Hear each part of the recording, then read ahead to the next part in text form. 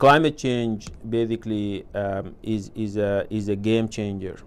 It's no longer we could assume that, that the future is going to look like the past. Actually, we are, I mean, it's being now quite uh, accepted broadly that the future is going to be different, the future is going to change. Even if we take significant mitigation efforts, there is going to be still a level of climate change that we are going to have to adapt to.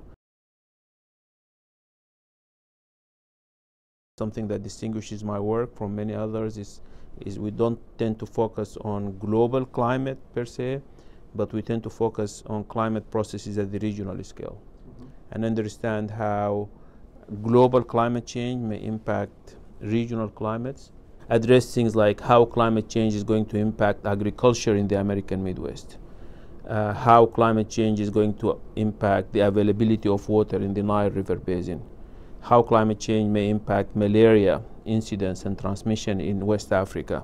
In a way, we provide a bridge between what the global models are projecting as going to be significant changes in the future to phenomena and uh, processes that are really uh, important for society.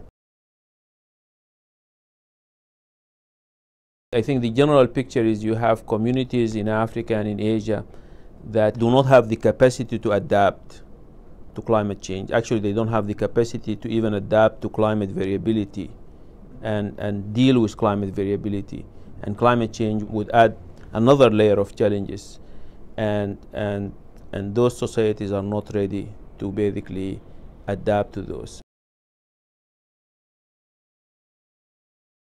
It offers um, um, great opportunities for young people who are looking to make careers uh, studying the environment, studying climate system, and doing that in ways that really could have significant impacts on society.